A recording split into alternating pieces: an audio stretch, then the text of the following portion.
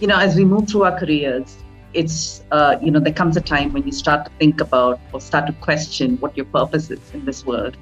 And in the last couple of years, I've sort of been through that experience, questioned what my purpose is, what I really want to do, and uh, where I really want to see myself from a career standpoint.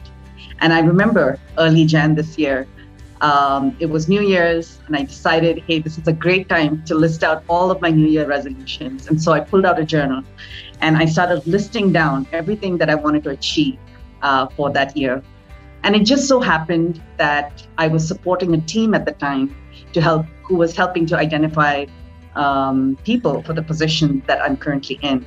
And we were so particular that we wanted to have women employees play this role because it was a great opportunity to strengthen leadership qualities in women in the organization and also give them an opportunity to gain that visibility and also learn um, and be closer to the business. And so then started our search and i had the most amazing conversations with the most talented women uh, employees in the organization and it was absolutely fabulous. And in course of those conversations i remembered one of the senior leaders at the time came up to me and said hey you know Mallika why don't you apply for that position?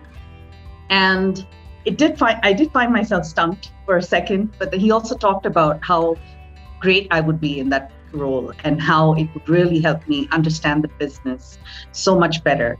And I absolutely took that as an opportunity to say yes. And that's the beautiful thing about being part of Quest Global. Opportunity and people are always around us at every single point in time. Even when you don't see it yourself, you are surrounded by people that have so much faith in your ability and are constantly enabling opportunities for you all the time.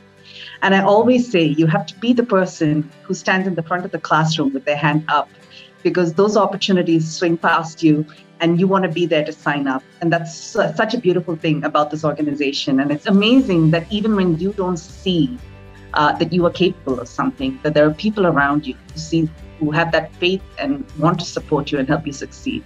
So, what I would say for people who are joining the organization and who have been part of the organization is to keep an open mind. There are new experiences that are opening up in front of you every single day.